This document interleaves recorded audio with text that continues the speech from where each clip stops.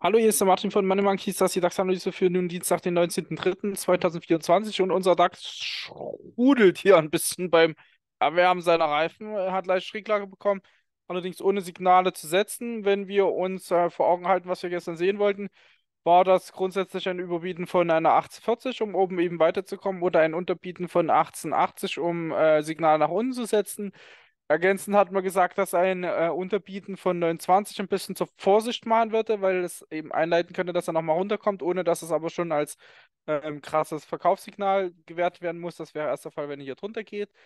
Ähm, das haben wir nicht gesehen. Oben haben wir nicht gesehen, damit ist der Tag eigentlich signallos zu werten. Auch wenn die Tageskerze sich umgedreht hat, ist hier noch im Schatten der Vortageskerze. Und von daher hier jetzt nichts gewesen. Ähm, sind noch immer auf dem Niveau, wo wir schon vor 1, 2, 3, 4, 5 Tagen waren. Also es ist jetzt die 1, 2, 3, 4, 5. Kerze auf gleichem Niveau. Demzufolge waren wir vor vier Tagen da, um es mal ganz richtig zu machen. Ähm, und ja, es hat sich nichts geändert. Wir können eigentlich die Analyse vom Vortag genauso weiter nehmen. Ähm, solange wir hier die 29 nicht gravierend nach unten reißen und bloß anstechen, äh, kann er sich jederzeit immer wieder nach oben zurückziehen, Richtung äh, 1789 erstmal. Sollte, sollte es ihm dann gelingen, oben auch rauszukommen, auch an der 1820 zu überbieten, äh, öffnet ihm das insbesondere dann über 1840 natürlich wieder Chancen in die nächsten Ziele rein. Die nächsten Ziele bleiben auch unverändert gleich. Ähm, ergänzend müsste man hier bloß hinzufügen, dass diese Trendlinie immer weiter ansteigt. Ja, also auch in 1821 wird dann schon hier gar nicht mehr ins Kreuz kommen, da die Linie dann er springt ja nicht mit zwei Kerzen hier hoch, das dauert ja dann eine Weile. Schon eher im Bereich um 18,130, wahrscheinlich nachher im Bereich um 18,150 liegen wird.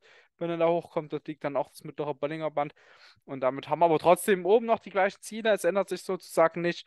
Er muss halt bloß mal initiieren, muss drüber kommen und sich schön rauslegen. Oder alternativ eben unten die entsprechenden Signale setzen, ein Tief unterbieten, von unten das Tief bestätigen und dann ab die Post. Aber das haben wir ja auch nicht gesehen. Das ist hier bloß ein Rumkratzen an den Signalmarken. Oben an der 18.000, dann an der 29. Da kann er auch jetzt einen Dienstag nochmal genau andersrum machen. Also von da würde ich hier noch nicht zu viel rein interpretieren, denn es ist ein signalloser Tag. Es ist mehr oder weniger sogar ein Inside Day. Und ähm, da sollte man, ja, da sollte man sich nicht verrückt machen lassen. Ja, also auch nicht ungeduldig werden. Äh, das bleibt alles so bestehen und gültig, wie es ist. Von daher würde ich auch sagen, fackelt man hier gar nicht länger rum. Machen das hier zu.